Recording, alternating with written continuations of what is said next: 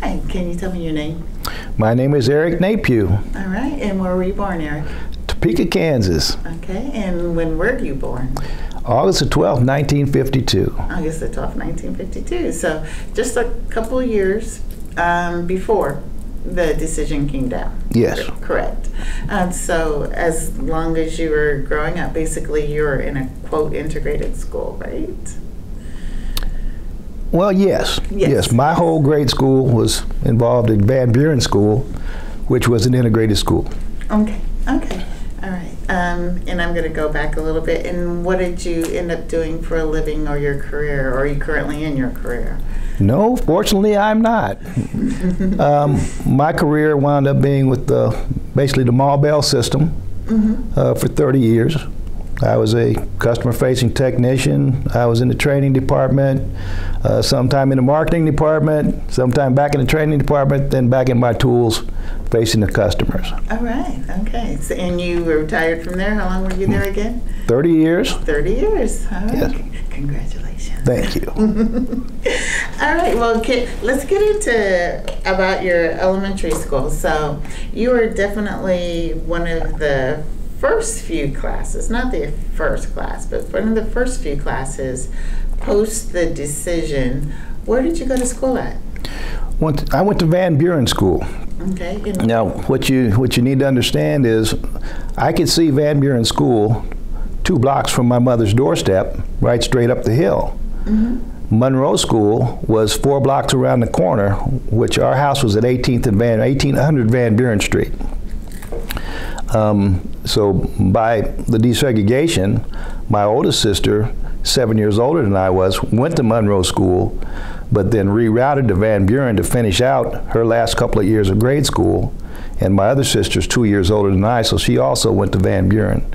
So we were the only ones in the family that didn't go to Van Buren. My mother went to Van, went to went to Monroe. I mean, did go to Monroe. Okay. My mother went to Monroe, grew up in the Monroe neighborhood her whole life, and lived there her whole life. So. so there was this family legacy of Monroe, and then you ended up at Van Buren. Absolutely. uh, just a couple of blocks away. But can you tell me, not I wouldn't remember, but can you tell me what the school was like? What was the atmosphere like At Van Buren? at Van Buren? Well, the, our neighborhood was a mixed master of a lot of people. We had Native Americans, we had Asians, we had, uh, of course, black people, we had white people, but the common thing was nobody had a whole lot to talk about uh, when it came to money. Mm-hmm. It wasn't real bad, but it was not a you know affluent situation for anybody. So when it came to blending at the school, nobody could talk about anybody else. Name calling that wasn't going to do you any good because you're no better than anybody else. Mm-hmm.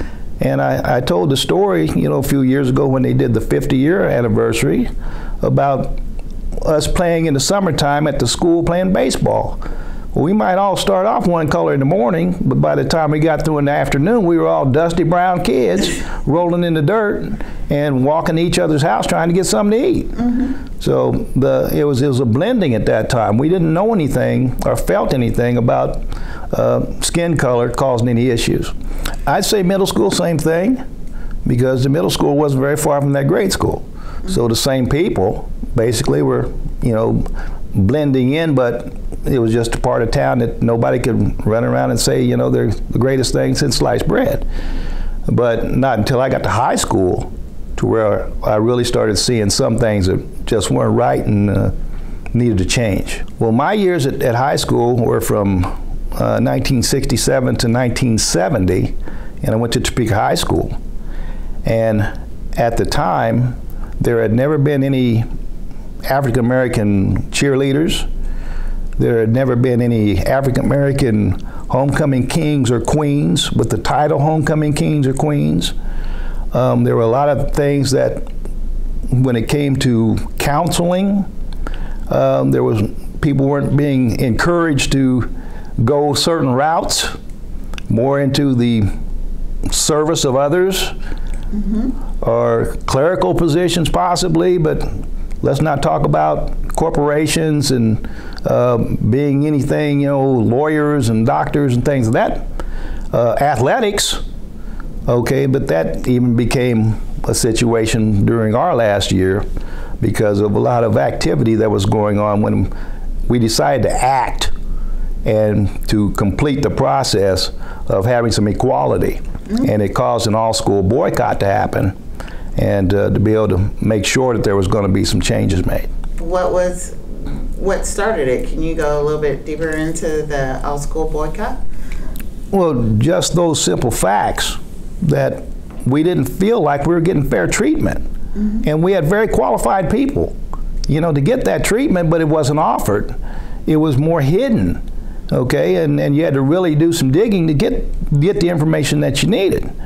And uh, it just was not, uh, when you can't see somebody that looks like you getting anywhere, you know, that's a bad situation. So we acted on that. Mm-hmm. We, we actually started, uh, we got uh, African American Homecoming Queen in 1970, also in 71. Um, we had our first cheerleaders in 1969.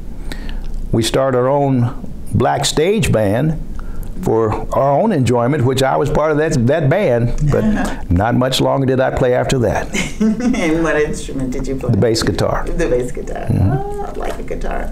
Um, I guess my question is, is, and it sounds like from your results, part of the problem was is that you didn't have representation in different areas of the school it was starting to change. We were starting to get black counselors. We were starting to get um, uh, more people recognizing that we are now in the class that should be getting the benefits. Mm-hmm. And we would like to have those benefits, by the way.